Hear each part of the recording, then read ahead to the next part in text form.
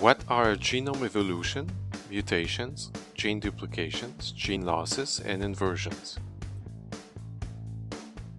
Genome evolution is the process by which a genome changes in organization, content, or size over time. Several types of evolutionary events can transform genomes over time. The most common types of events are point mutations, gene duplications, gene losses, and inversions. Point mutations are mutations that affect a single nucleotide. Point mutations can either substitute, insert, or delete a nucleotide from a sequence.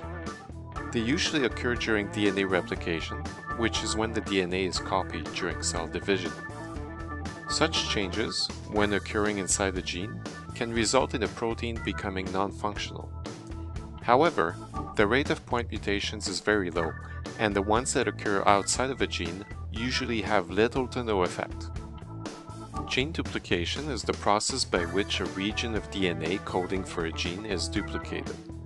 Duplicate genes are often immune to the selective pressure under which genes normally exist. As a result, mutations may accumulate in the duplicated gene copy. This may render the gene non-functional, or in some cases allow the gene to acquire a new function. Duplication events can also affect entire chromosomes and even entire genomes, which results in a spectacular event where all the chromosomes are duplicated.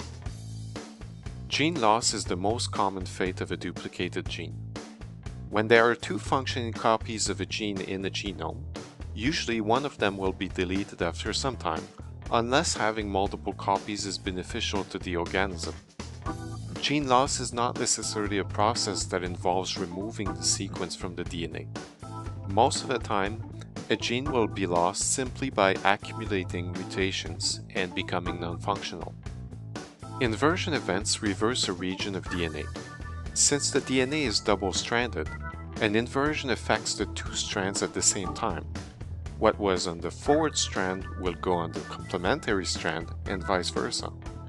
In other words, if an inversion affects a segment of DNA containing multiple genes, the genes will then appear in the reverse order, and they will appear on the opposite strand, which also means in the opposite direction.